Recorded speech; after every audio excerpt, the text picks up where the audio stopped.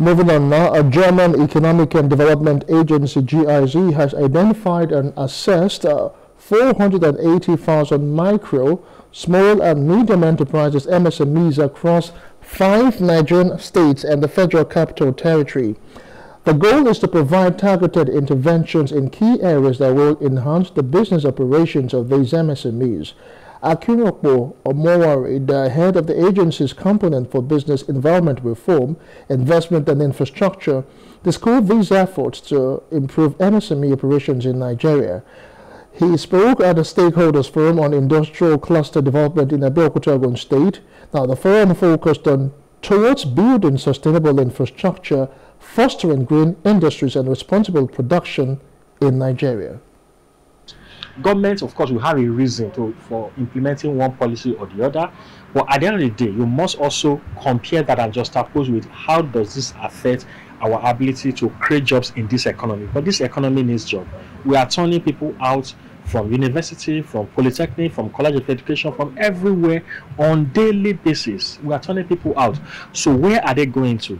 if you don't address that, we'll have an economy that is not productive. At the moment, we are still in uh, uh, import dependent.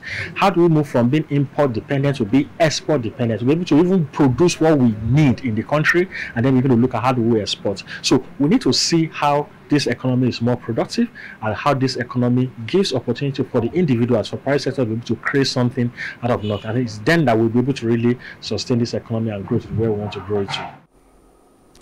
Omaro stated that GIZ is also looking at how to create jobs by the MSMEs in identified clusters. On his part, Ogun State Commissioner, Minister of Industry, Trade and Investment, was represented by Kayode Akintomide, said the government has put several programs and initiatives in place in that industrializing the state and to promote investment.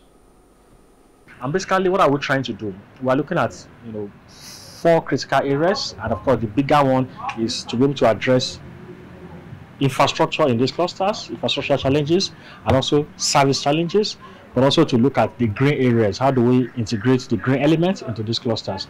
But beyond that as well, we are looking at you know issues around business and environment and investment. We're looking at issues around uh, entrepreneurship uh, uh, support. We're also looking at issues around access to new markets and issues around access to finance. And the big one, like I said, is the infrastructural issues that we are looking to be able to uh, address um, in these clusters.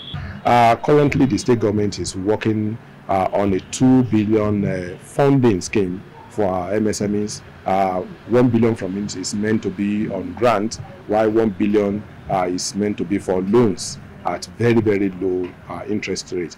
All this the state government is doing. Again, the state government has the land um, acquisition uh, scheme for small businesses that is coming up at uh, Ijebu.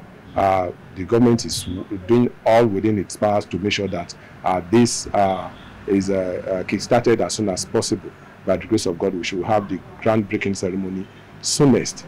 All these are part of the initiatives of government that is not uh, uh, people fail to realize that uh, they have such uh, opportunities at their doorstep.